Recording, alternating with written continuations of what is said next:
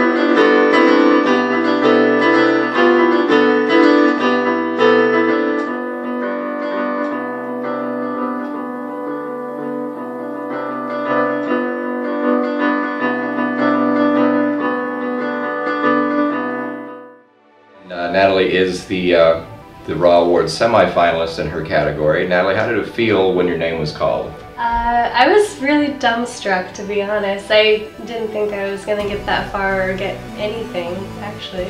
Pretty happy moment. Yeah. Good. And how, how does this, this win affect or change your career or the future of your career? Um, this is probably the furthest I've ever been in my career, to be honest. I, uh, I'm just a local musician around town, but I've never had a chance at internationals before, so it's really awesome Excellent. to kind of get my foot in the door a little bit. Great. And uh, is there anyone you'd like to thank that helped you get to this point?